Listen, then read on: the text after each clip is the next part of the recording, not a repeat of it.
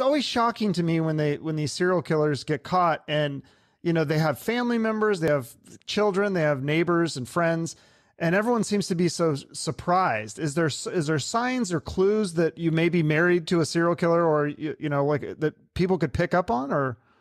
Well, they're not going to be distinguished from you may be married to somebody who's having an affair or a con artist or a rapist. They're not going to be distinguished that way because they're pretty good at first of all there's two things going on one is the offender wants to keep their behavior secret so they've worked up a pretty good shield but secondly nobody married to a killer or or the daughter or son or father or mother of a killer wants to believe their relative is a serial killer one of the best books on this subject is jeffrey dahmer's father mm. who hmm. had numerous things that suggested that his son was not okay. And he was able to explain them all away. And even at one point, he was holding the head of a victim in a box.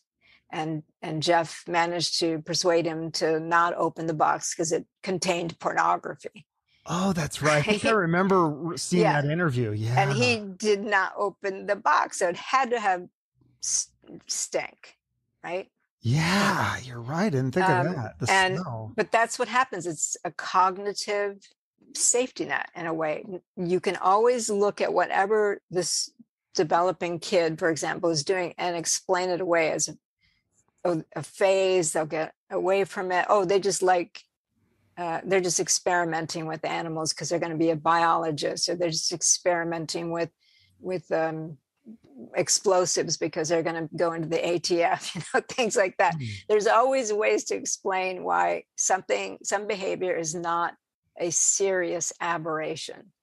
And especially if okay. you have an investment in staying married, uh, like you don't have a job and you've got kids, and what are you going to do without this person?